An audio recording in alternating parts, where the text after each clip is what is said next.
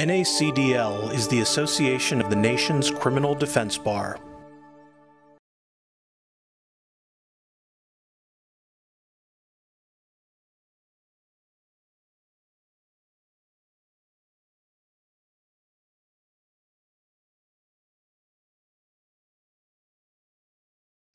So I am going to talk about reforms that have happened in the last couple of years, but also why it's a start and not obviously the end of any fight around um, racism or racial justice.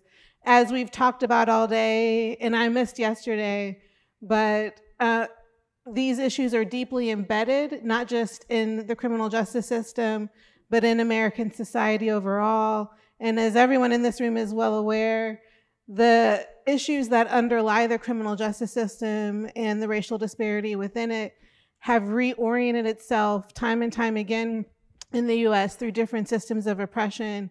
And the current era of mass incarceration is no different. And I'll give some context for that and, and talk about what needs to be centered as part of this work in order to address whatever comes next to acknowledge that racism will probably continue to underlie it and how we as individual actors within the system can work to address it.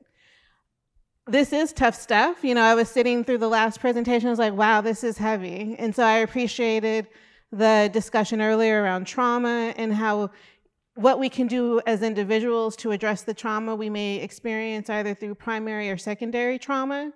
One way that I um, can process these heavy topics and the statistics that get thrown around and the individual stories that get thrown around is to be in dialogue with other folks who are engaging in this work, to learn and um, bear witness to the resiliency that people carry with them in order to strive through this day after day. And so I'm going to try to leave time at the end for dialogue so that we can process this together so that whatever comments or reactions have been percolating for you today and from yesterday, um, they can be shared um, as we wrap up the seminar because that's how that's one way that's not the only way but that's certainly one way that helps me to process the heaviness of the topics that we get exposed to um, day after day. So i want to st- i want to um, let me give you an overview of uh, what I'm going to talk about, which I'm going to uh, highlight changes in mass incarceration, reinforce what's already been mentioned in many of the presentations already this afternoon or throughout the day, the racial disparity in the criminal justice system, highlight recent reforms, talk about next steps in challenging racial disparity, and then leave time at the end for Q&A and dialogue. And as um, we get ready for the end of the seminar, I want to uh, start with a question um, for you all to sit with. And then when we get into the dialogue part of this part of the discussion, hopefully that can um, help to uh, provoke some responses. And that question is, what actions do you think are possible in the short term to center race in criminal justice reform? So I'm sure most of you are familiar with this graph, um, which charts the the significant growth in the US criminal justice system, particularly starting in the early 1970s. This has happened, and in the last few years, there's been some modest decline in the criminal justice system, and that's been because of criminal justice reforms. So last year, I'm sure many of you are aware, at the federal level, the First Step Act was adopted, which will authorize some sentencing changes in the Federal Bureau of Prisons. There were modest reforms adopted in some states as well. Last year, lawmakers right here in California revisited the felony murder rule for life sentences for persons who weren't the trigger person during a crime. In Florida, voters approved a ballot measure to authorize retroactivity for progressive sentencing changes. Also, here in California, at the end of his administration, Governor Brown granted more than 1,100 pardons and more than 150 commutations, far more than any other governor in California history. Because of those modest changes um, uh, that we've observed over the last couple of years, there have been a handful of states that have had significant declines in their criminal justice system, which what we call is decarceration. New Jersey leads the top of the list with 37% decline since 1999. The state's prison population peaked in 1999, the highest ever recorded level. Alaska and New York followed, also with double digit, over 30% decreases in their state prison population since they peaked in the mid 2000s in New York in 1999. And other states that had double digit increases were Vermont, Connecticut, California. There are also some states on this list that aren't listed um, that had um, higher rates of decrease than other parts of the country, including states like Mississippi, surprisingly, um, and uh, states like South Carolina. And yet, the downsizing that took place, it was achieved through very modest reforms, through reducing readmissions to prison for parole and probation violations, for increasing the pace of uh, release for eligible for prisoners who are eligible for parole. The First Step Act is fairly modest. There was some um, tension in the federal advocacy community over whether or not the act was strong enough. And the reforms that have been observed in the last couple of years and the modest decline that's been observed in the last couple of years, if the US were to continue to decrease its population, its prison population at that rate, it would take 75 years for the United States to return to the incarceration levels of the early 1980s, which at the time were still higher than most um, other industrial nations. And so while incarceration trends vary, there continues to be significant rates of incarceration, even in these states that have had successes that have led to these um, double digit declines. As you all know, the US has the world's highest rate of incarceration, and that's for several reasons. We send people to prison for reasons they don't go to prison for in other parts of the world. And when they do go to prison, they go to prison for longer fundamentally, and I'm not a lawyer, I'm not a lawyer, and so I feel privileged to be invited to the lawyers um, meeting this today. But this is a political problem where strategies must be employed to counter the punitiveness resulting in high levels of incarceration. Countries and within the United States, states have the policies and prison populations they choose. Between, 1990, between 1965 and 1990, during which overall and violent crime rates tripled, in Germany, Finland, and the US, German politicians chose to hold their imprisonment rate flat. Finnish politicians chose to radically reduce theirs, and American politicians enacted policies to increase the use of, of imprisonment substantially. All American states experienced large crime rate increases in the 1970s through the early 90s, but their responses were different. Politicians in states like Maine, Vermont, and Minnesota by and large resisted calls for harsher um, sentencing practices, where politicians in states like my home state of Texas, the state we're currently in California, Oklahoma, and Florida responded with enthusiasm.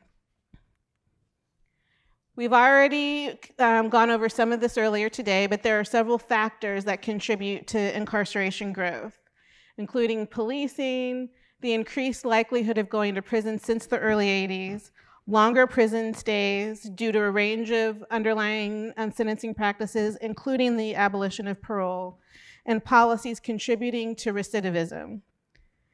Since the early 80s, the likelihood that US residents come in contact with the police has increased. And once a person interacts with the police, their likelihood of being arrested has increased, as has their likelihood of going to prison. That's due to a handful of policies that most of you are already familiar with, including the three strikes and you're out policy popularized right here in California through ballot measure. That's increased life sentences for a person convicted on their third felony offense.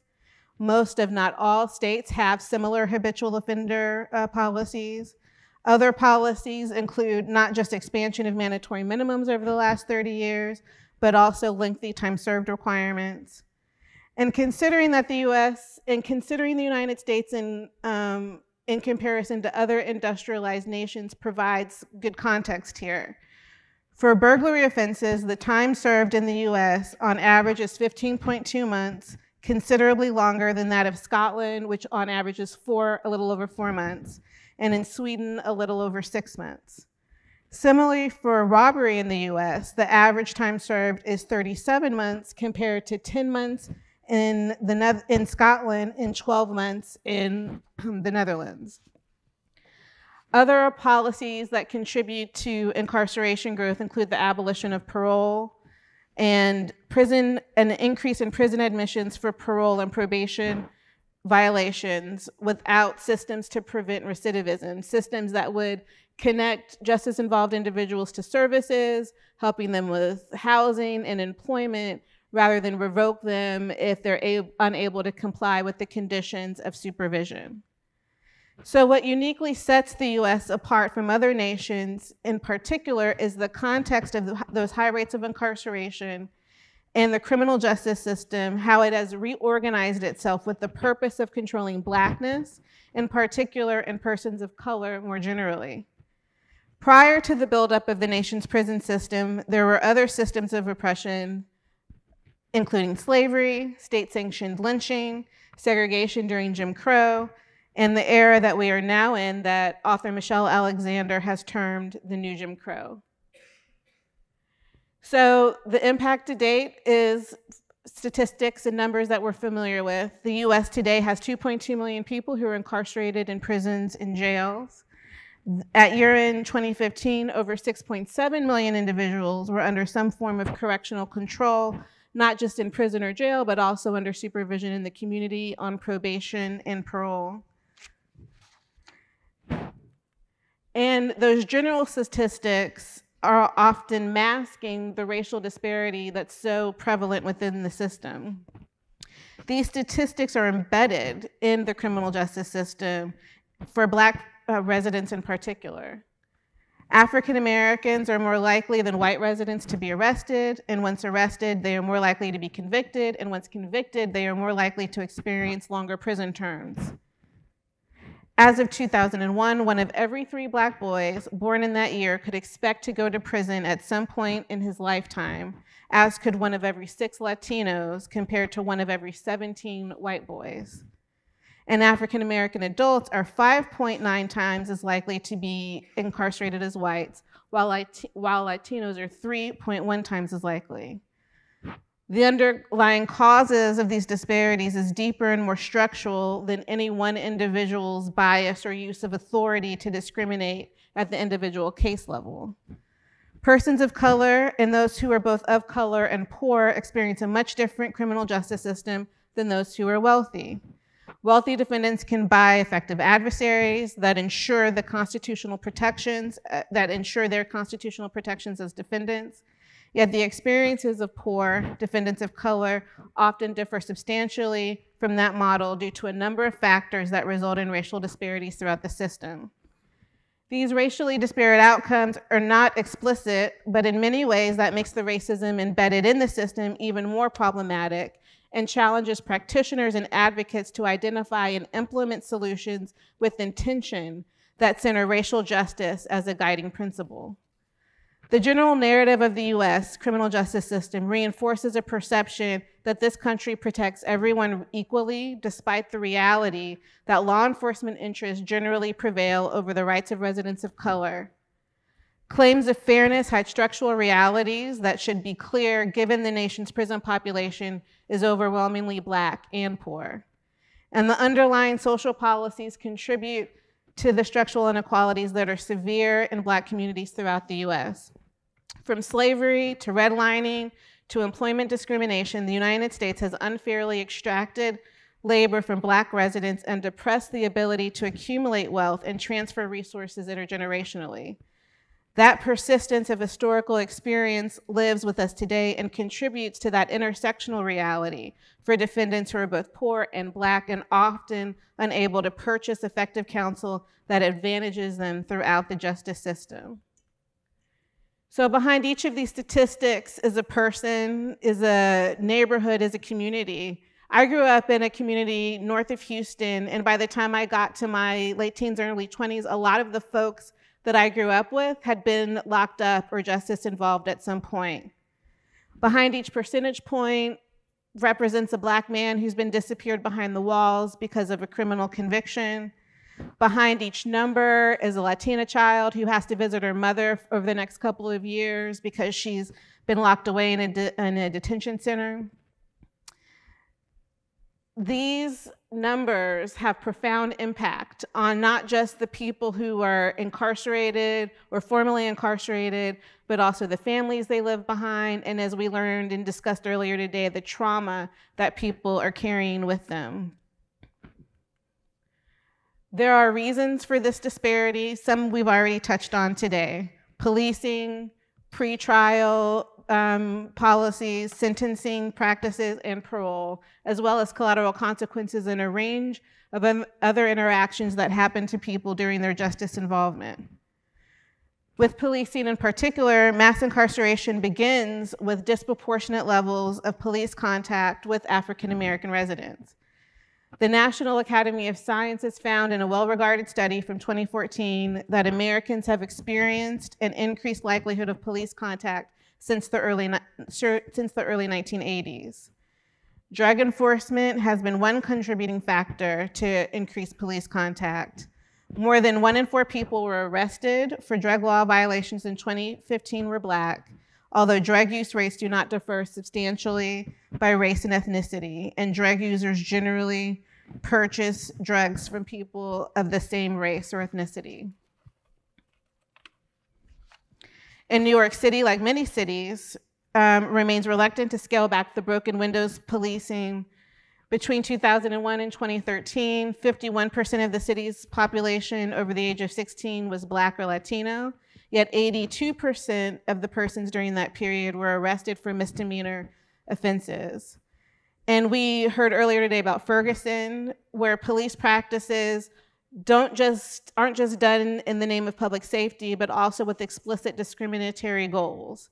For example, and we heard this from at least several, at least two prisoners earlier um, today, that uh, in Ferguson, the law enforcement practices were shaped by the city's focus on revenue rather than public safety and deterrence under pretrial, uh, Black Americans were incarcerated in local jails at a rate of 3.5 times the rate of non Hispanic whites in 2016.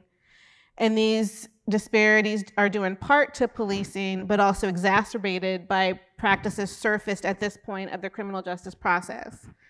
70% of pretrial releases require money bond, a significant barrier for low income defendants, most of whom are disproportionately of color. Sentencing, under sentencing, African Americans and Latinos comprise 29% of the general population in the US, but make up 60% of the country's prison population. And those racial disparities are also due in part to policing and pretrial practices, but are also compounded by the discretionary practices that happen at sentencing. What I'm sure is not surprising to any of you is the prosecutorial bias that can lead to overcharging, particularly to defendants of color.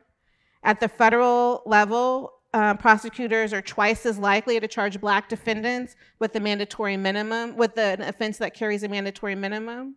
And at the state level, prosecutors are, um, are more likely to charge black defendants under habitual offender laws. Policies that disadvantage black defendants at the time of sentencing include charging defendants with offenses in sentencing enhancement zones, and we um, heard a little bit about that in the earlier presentation that touched on uh, the criminal justice system in Native Americans. But sentencing enhancement zones are prevalent in every state around the country, and as you all know, drug-free if um, offenses are charged within drug-free school zones, that can be used to overcharge and increase um, charges for for defendants, many of whom are Black and Latino. New Jersey lawmakers revisited their drug free school zone several years ago when a study found that 96% of the defendants subjected to these enhancements were African American or Latino. And as I mentioned, all 50 states have some form of sentencing enhancement, including and also the District of Columbia. Parole is also another factor that's, in, that's led to an increase in the incarceration growth and underlies the racial disparity in the system. Since the 90s, many states have abolished their parole system, and the proportion of the prison system that's eligible for discretionary release has gone down. There's also racial bias at points of discretion in these discretionary release um, practices. So a few years ago, following the suicide of a, a parole eligible prisoner in New York who had been denied parole um, for many years, over 20 um, times during his incarceration, the New York Times conducted an analysis to look at the behavior between parole officers and parole eligible prisoners in that state and found that 60,000 disciplinary decisions uh, were dependent upon a guard's bias like disobeying a direct order. And that within those findings, there was significant racial bias that disadvantaged African American prisoners. Also, policies within parole include underinvestment and racial disparities that persist in community supervision. Supervision in the US um, operates as an extension of law enforcement that I'm sure is surprising to no one in this room.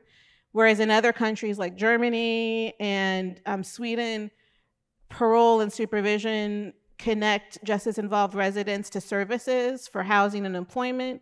Here, uh, parole officers and probation officers are um, quasi law enforcement and or have a very adversarial relationship to the people that they're supervising.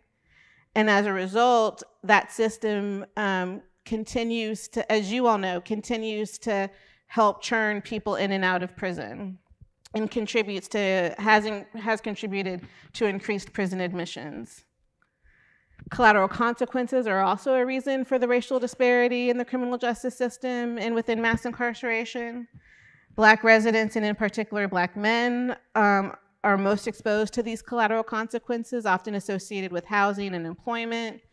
Other uh, collateral consequences include voting bans, and um, ineligibility for public benefits and other services. So these factors persist even in the context of recent changes and reforms that have led to double-digit declines in the criminal in some states, such as New Jersey, that I mentioned earlier, and has led to a modest decline in the overall nation's prison population. But you know, New Jersey offers a cautionary tale because while there was a significant decline and um, since 99 to 2016, there's a 37% decline. This overview provides a, looks at a shorter window of time where 26% decline from 1999 to 2012. And during that same period of time, that state was found to have the highest rate of racial disparity in its prison population, a rate of incarceration for black residents 12 times the rate of incarceration for white residents, which points to even in states where there has been successful criminal justice reform, if intentional efforts aren't made to undo the underlying factors that lead to racial disparity, you won't solve the racial disparity in the system. So given the lack of political possibility in targeting a reduction in racial disparity in incarceration, as of 2016, black residents in New Jersey were still highly likely um, to be incarcerated than their white counterparts in the community. And as someone who's worked on criminal justice reform campaigns, I know it is challenging to center race as why the system needs to be fixed. Lawmakers and advocates often shy away from the, from the explicit demands to enact structural reforms that are explicit in their aim to undo the racially disparate outcomes that are so pervasive in the criminal justice system. And yet, if we're not explicit about it, if we're not intentional about it, stories like New Jersey will continue and the racial disparity won't be addressed. So, what are these solutions to address racial disparity? What opportunities might there be for us to be intentional and work actively to try to undo um, the problem that leads and exacerbates race within the system? In the short term, state and local residents can work intentionally to address that racial disparity. Cities and towns can reform law enforcement by reducing over-policing and prioritize community approaches. In response to increases in homicide, local governments can target initiatives to young men most at risk and also um, most at risk of committing violence and at risk of being victimized by violence.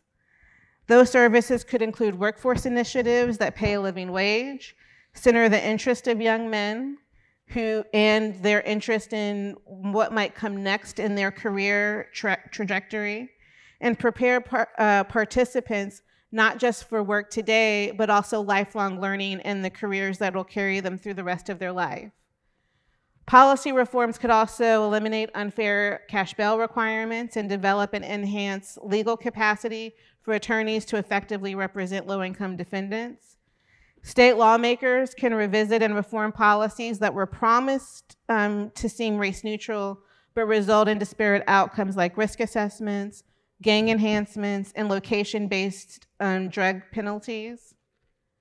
Solutions also include a presumption towards pretrial release for defendants and connecting justice-involved residents to services with the goal of public safety, repealing sentencing enhancements and acknowledging the impact of over-policing and its contribution to a cumulative prior record history, and penalizing drug offenses based on culpability, not location.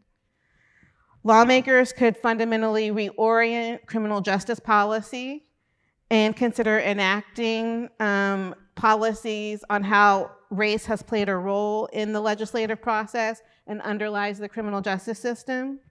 Requiring racial impact statements could get at that. Those statements are similar to fiscal and environmental impact statements and would be provided to lawmakers for consideration prior to the adoption of any new criminal justice law or regulation. And a handful of states have adopted these policies, most recently New Jersey, as a way to address that high rate of disparity. Other states that have adopted racial impact statements include Iowa, Connecticut, and Minnesota. The defense bar has a role too, and I'm so uh, glad that I was able to sit through uh, many of the presentations this today and learn how you all are thinking about roles, um, ways that your individual case advocacy and some of the systemic solutions that were um, suggested here today. The individual cases that make up your practices add to the narrative that residents deserve, can add to the narrative of what residents deserve, regardless of race in the US. So I know earlier um, other prisoners were suggesting to, for you all to mine data, to, to collect data and contribute that data um, to coalition efforts and other conversations. That is really helpful and critical and can and certainly be useful in organizing um, narratives around not just criminal justice reform, but also addressing the racial uh, disparity that is so embedded within the criminal justice system supporting legal capacity for low-income defendants, of course, particularly defendants of color, through this uh, through a robust public defense system will be critical. And at the case level, centering racial inequality regularly to enhance the narrative will affirm the underlying structures that result in racial inequality. Contributing to policy discussions are important. They can help personalize the collective experiences that get debated and developed with community organizers and in um, collaboration with policy advocates. So I know that attorneys with active caseloads are busy doing that individual case advocacy, but uh, you know, in many of your states, if not all of them, there's active criminal justice coalitions, and to the extent that you have capacity, figuring out ways to support and connect to those coalitions is is incredibly critical and necessary. So again, I'm going to wrap up my comments, and I think we have time for discussion and dialogue. And I want to restate the question that I um, started with at the beginning, and that is, what actions do you think are possible in the short term to center race within reform that challenge racial disparity in the criminal justice system? Those are really good points. So nationally, 8% of people are incarcerated in private prisons. So it's a problem, but it's um, the scale of people in private prisons is fairly modest when you consider the 2.2 million people who are incarcerated on a given day. It's not to say that active campaigns in eliminating private prisons as a social policy isn't a worthy goal, but eliminating them alone won't undo mass incarceration, particularly given what I hoped was clear and that I'll reinforce, that the current iteration of mass incarceration has just been the way that the United States has reoriented systems of oppression, particularly when considering the social control of Black residents and Blackness. On your point around the franchise for people who are in prison, surprisingly, there has been new activity around that. So there's active legislation also in New Jersey. That you know, it's not. I'm not a resident of New Jersey, so I don't know who in the room is from New Jersey. Is anyone here from New Jersey? Nobody. Okay. Well, I know I've mentioned New Jersey a lot, but there's actually active legislation in New Jersey that would expand the franchise to people who are in prison. And we thought that those the folks organizing around that were radical and sort of in a lane of their own. But surprisingly, in the last couple of years, a handful of other states have introduced legislation around that. Actually, in California, there's an active effort to expand the franchise to incarcerated individuals and also to people on parole. And most recently, there's was legislation introduced in New Mexico and also in Hawaii. So yes, to that, to the extent that more campaigns can develop and uh, to expand the franchise to incarcerated residents, that would certainly be a step in the right direction and, and would help to build out um, a conversation related to these issues. Sir, yep. Uh, both, are, both great points. So the Sentencing Project, we launched a campaign late last year on the campaign to end life imprisonment. And most of the people sentenced to life prison terms have been convicted of very serious offenses, homicide, other serious um, assaultive offenses. So hopefully um, a public education campaign related to that can help address violence and people convicted for violence and create space, political and rhetorical space for those prison terms to be looked at as well. And we're hopeful for that. For people interested, you can visit that campaign website online at endlifeimprisonment.org. And actually, my colleague Marc Mauer was on the Daily Show earlier this week on Tuesday, um, January 8th. So you can look at the interview with Marc Mauer and Trevor Noah, where he discusses life imprisonment and why it's important for the US to even revisit the punitive sentences for violent offenses.